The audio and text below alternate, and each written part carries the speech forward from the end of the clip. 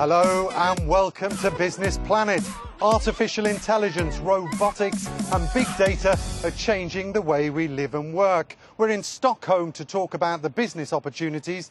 Daniel, you're an expert in this field. Tell us a little bit more about the growth potential of these technologies. It's really, really enormous. Right now, artificial intelligence can be used to automate business processes, production processes, and build smart services. In the long run, the power is going to be absolutely transformative. It's going to change the way we do business. Okay, let's look at one startup right here in the Swedish capital.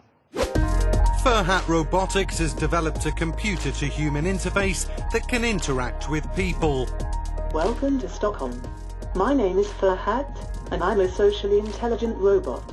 Furhat is already being piloted as a concierge at Frankfurt Airport to help passengers find their flights and get around. But the robot's designers have much bigger plans.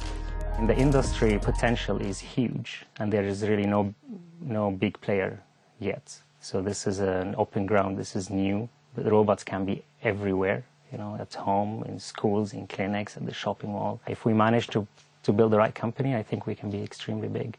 The EU has just unveiled a new plan to boost investment in AI.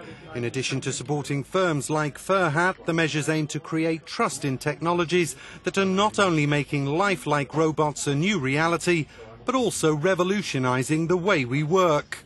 We see robots in everybody's house. This is just a teaser into how this world could look like into the future. Just day one of a long journey.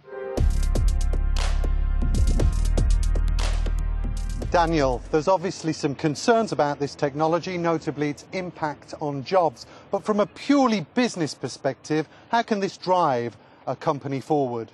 It can automate a lot of production and the supply chain management, helping you run your business more efficiently. It can help you automate, for example, customer interaction through automated help desks, and it can help product development by actually building models and systems faster through machine learning. If I'm an entrepreneur, what could I be doing to find out if this technology could benefit my company? Most importantly, try to look into what can and what cannot be done today with these technologies. Thankfully, there is a lot of material online on machine learning and artificial intelligence that you can look into. Thank you. That's it for Business Planet. To find out more, go to our website. Thanks for watching and see you soon.